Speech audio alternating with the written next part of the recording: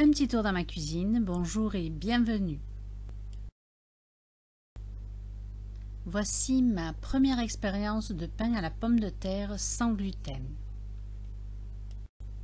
Vous aurez besoin de pommes de terre cuites et refroidies, d'environ la même quantité de mix de farine sans gluten, de l'eau de source, de l'huile, du sel.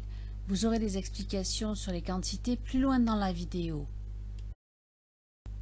Faites cuire les pommes de terre une fois cuites et gorgées d'eau, entre 40 et 50% de pommes de terre et le reste en farine.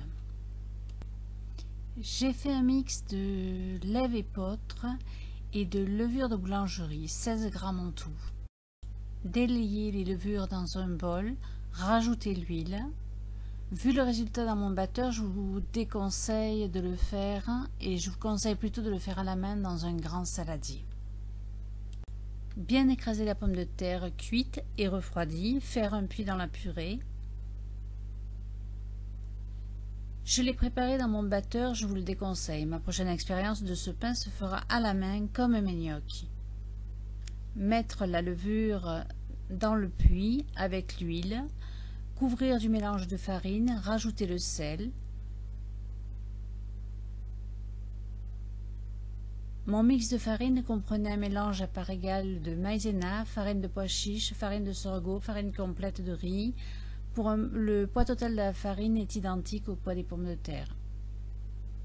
L'aspect de ma préparation au bol batteur est devenu crémeuse, elle sera plus consistante à la main et je vous le recommande pour que ça ressemble davantage à du pain.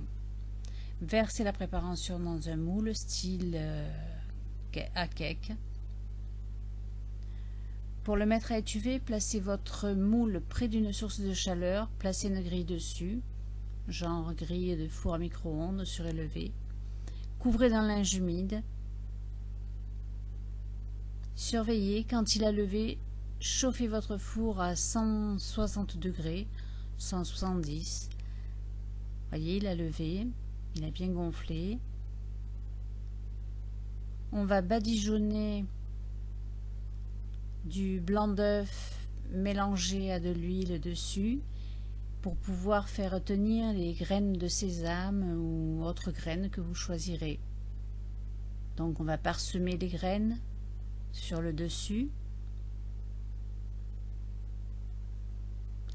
et on met au four avec un peu d'eau dans le lèche frite. Faire cuire environ 25 minutes, tester avec un couteau, le couteau doit ressortir sec. Démoulez votre pain délicatement, il est un peu fragile, remettez-le 10 minutes au four, toujours à 160 degrés. Votre pain est cuit, sortez-le du four et laissez-le refroidir.